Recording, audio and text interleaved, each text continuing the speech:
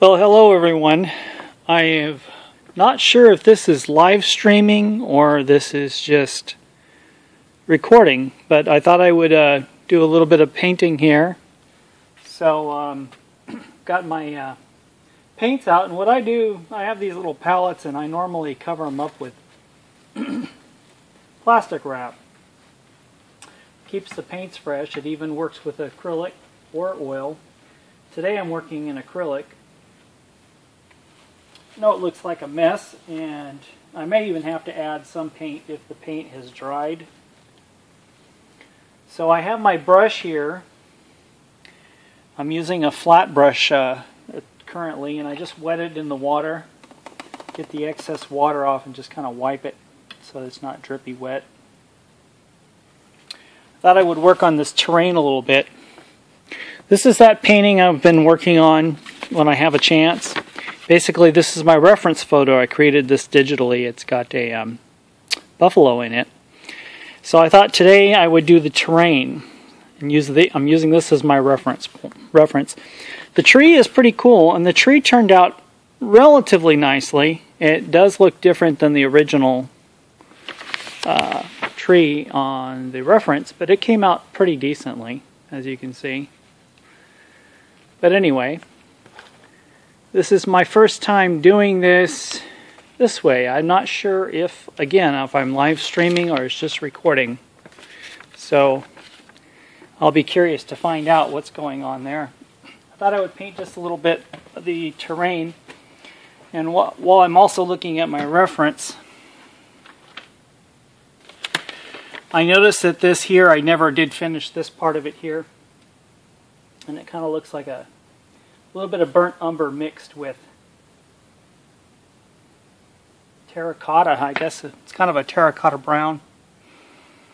I thought I would bring this out a little bit. It has more of this shape to it in the original.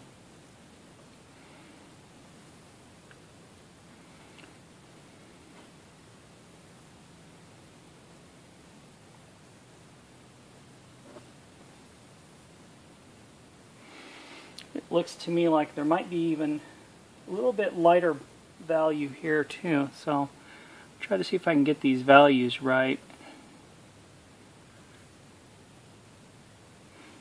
I'll add a little more burnt umber to the mix.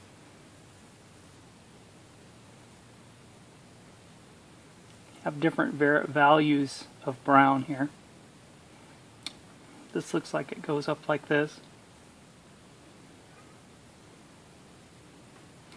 You hear my cat, my cat might be, be on the other side of the panel. I closed a panel so he couldn't get to me. It's getting closer to the, the look of the uh, reference photo. I think I'll go with a little bit lighter value here. Hope this is showing up well. Yeah, it does look like there's a little bit of a tan, a little bit of a tan highlight there. There we go. And I'll just kind of blend that in with my finger. Yeah, it's a little bit lighter tones there.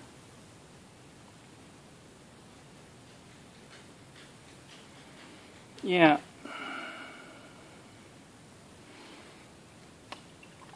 Gotta go back into the dark. Sometimes burnt umber makes a little bit of black into it and it makes a darker tone that's nice for terrain. This time I'm just going to dab it so it gives it a little bit of a texture. So it looks like there's a little shadow here and there. Paint may not be thick enough so I might have to add a little black which seems to be thicker. Yes, ah, that's what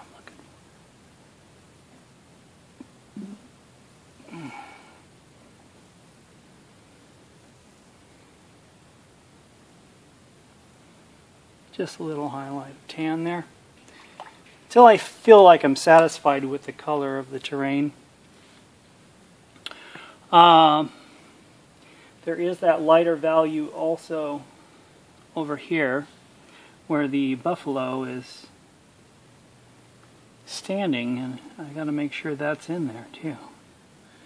Now it's a little bit too light so I'm to blend it with my finger. You can blend with your finger, it's fine. Kind of comes down like this. Yes. Now as I go to the left I want it to fade out and get darker. And here it looks a little too I want that to also blend. So I'm just going to take my finger and just slightly blend it into the darker color that's currently there. Come down a little bit more. It's almost like there's a little bit of a sandy shore there. Yes, that looks better.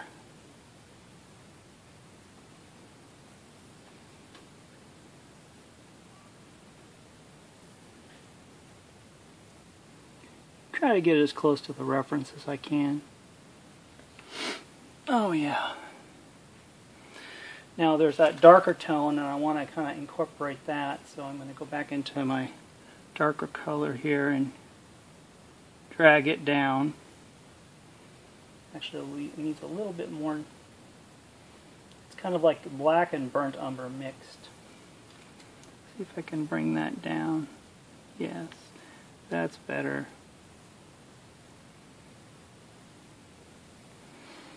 Now, what I'm going to do is take my mop brush and just slightly touch that. Kind of blend that dark into there. Yes, that looks good.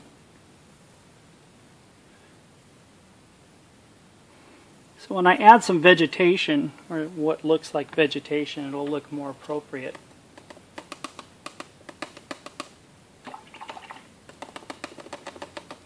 So if you start picking up paint, like the, if the paint underneath is wet and you want to not have that tone or that value, say you're trying to put a lighter value on top of a darker value, and the paint, the darker value, darker valued paint underneath is wetter. What you can do is just basically clean your brush off real well in water, and uh, make sure you dry it off real well, and then go back into the lighter tone. That way you don't make mud there. It's good to have different tones of brown, different tones, even a little gray. Add a little gray into your brown, um, which is good. Oh, yeah. Kind of gives the impression that there might be rocks or something there. And uh, get little dried paint pieces of paint that because your palette has paint that had dried and turns into like a ball like shape. Just rub that off with your finger. That's easy. Now I'm going to add a little more dark again. Kind of impression that there might be rocks or something there. Yeah. There we go. Notice as I go off to the off the frame closer to the edge of the canvas, I try to go darker, darker tones because you want your focus to be towards the subject or the center where the sun is. In fact, I'm going to go here and add some lighter, like a cream color into the brown to give impression there's lighter things, rocks and things there. Yeah, that looks good. And where the the uh, buffalo is going to be, it needs to be even lighter yet. Okay, Let's see how this works over here because I felt this needed a little, yeah, that actually looks good too there. Like it needs a little tan, a little more tan. I like that impression. It almost looks like there's sand or something there, you know. You don't sometimes want to go all the way to the edge. You want to give a little bit of a shadow on the near the water because you're going to put a water line in there. So I'm going to let that dry a little bit and I'll keep working on the detail there. But so far I'm happy with these tones. And this has got very little of this paint, so I'll just go ahead and use it up in this area. Yeah, that looks good. Pull that back a little. Get some of that brown tone and come out here a little. Yeah. That looks really good. You got to remember the direction you go, you you're giving the impression that's the direction of the terrain. Like if it's going up a hillside, you want to go diagonally, like it's going up. And as I come down to the bottom again, I get into darker values. So I try to, excuse me, I'm hitting the camera, but what I tend to do is try to go darker on the edges when it gets closer to the edge of the frame. Because you don't want to, you got to remember lighter tones or lighter values give uh, draw the eye, and you don't want to draw the eye to the uh, to the edge of the frame. You want the eye to be focused where the light is or where the subject is. So, so I'm going to even darken this up a little bit more, just to imply there might be rocks or things there. You notice I left this dark in here because that might be grasses. There could be grasses there, and you don't want to. You want to give the impression there might be something. Sometimes it's actually go good to go up and down to give the impression there's vegetation. In fact, you add a little bit of green into your browns, you can kind of give the impression there might be vegetation there. It's not showing up real well right now because the paint is too wet, but later on I'll define that with something else. And then again where the buffalo is, it needs to be lighter yet. So I'm going to go back into the lighter value because this is where the buffalo is going to stand and it, it's almost a, yeah, it's almost, the paint is almost getting too wet, so I don't want to do that either. Oh, there we go. So, and then I'll just blend it in with my fingers.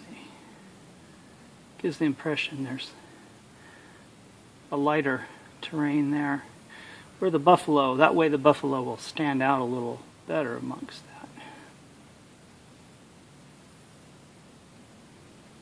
Yes, that looks much better. Okay. Anyway, I will continue on with this and the grass, and I'll be right back. So I'm going to turn off the camera now. Thank you for watching.